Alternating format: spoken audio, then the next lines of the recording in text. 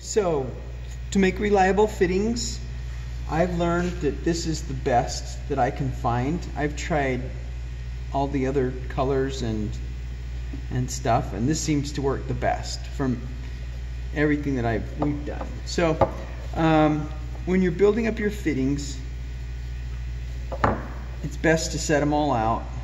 Um, you might be tempted to just use the regular Teflon tape alone, but I find with expansion and contraction and over time, it can leak. And sometimes even right away it leaks.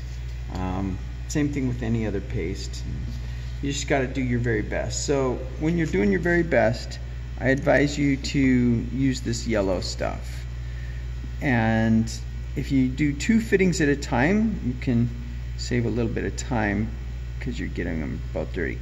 You don't need to get the entire threads pasted.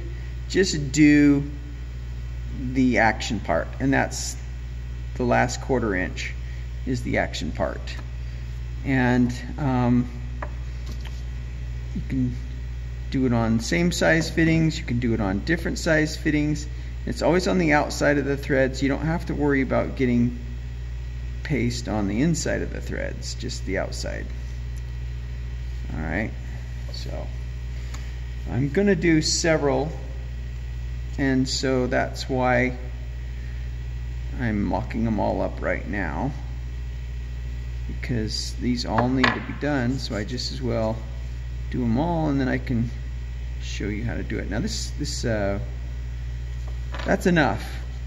You might want to put on more if you're only doing paste, but I'm doing a combination of paste and Teflon tape. A lot of people think, well, why bother doing both? Um, the reason why I'm wearing gloves is because it makes your fingers stained. Um, to start the tape out, it does not have to be flat, but at some point it needs to be flat. And a couple of wraps is all you need if you're combining it with tape. You know it's done when it squishes out just a little bit. And, and uh, you don't have to go wicked tight, just uh, finger tight and then another turn approximately. Now, when you're wrapping, uh, I'm going to wrap this backwards on purpose just to show you what happens. So the tape is the same direction as my thread. So now I'm going around the first time, Going around the second time. Now pull back just a little bit so you can see how long this is getting. See how far away my hand is from the fitting? Every time I do one wrap, it gets longer. And you have to roll this up. So that makes it difficult. My advice is don't do it that way. Turn this over. That's all I did was turn that over. It's the same direction. I do these clockwise. You got to do them clockwise or else they'll loosen when you tighten it into the fitting. And notice that this has a Z pattern and it tightens and I'm letting this spin every time I go around and that makes it spin. Now that's flat on my finger and that broke off real clean and it makes for a clean fitting.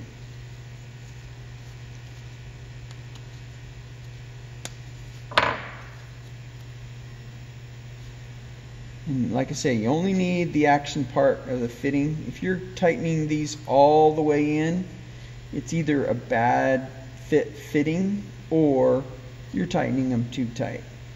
And a little bit of putty and three, two to three wraps is all you need.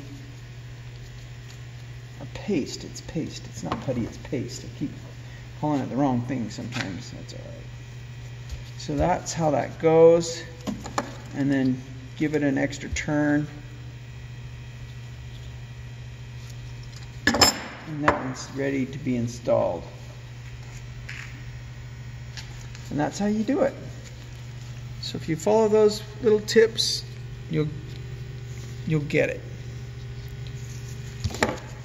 Thank you.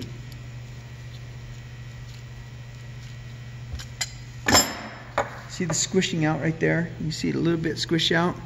Now, you might think, why do I not put putty on the outside of the threads.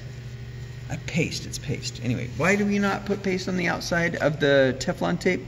It's because it does squish out just like that. And that gets both threads squishing out. Okay.